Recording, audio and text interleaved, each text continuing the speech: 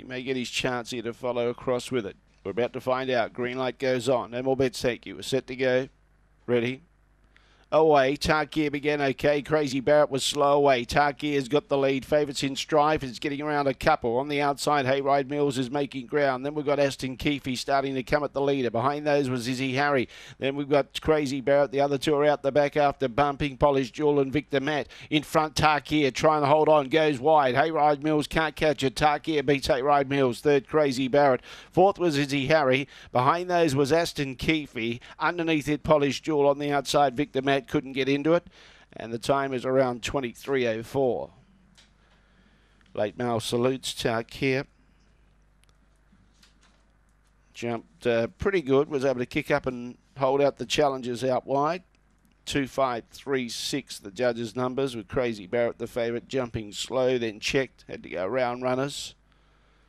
23.04 the time. Two and a half lengths the winning margin. 872 was the early split. That was uh, Tarkia. And the run home was 1432. 1432 the run home. 2536. Tarkia Black Dog, November 2014. Nolan out of Hilltop Snow. And Tina Catamole, the owner and the trainer.